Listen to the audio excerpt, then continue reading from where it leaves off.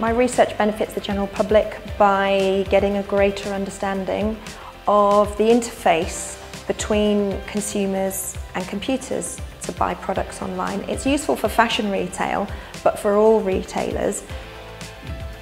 Getting consumers to be satisfied with their experience, to interact more with iPads, with their mobile, to feel less nervous about shopping online, about feeding back consumer responses back to retailers. That's essentially what we're doing.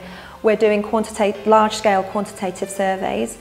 Um, I've got a final year PhD student and she's just researched the ASOS website and we look at blog pictures online and researching in detail how they influence the consumer purchase decision, the things they like about it, the things they don't like about it. So we're part of that feedback loop back to retailers to improve their online experience.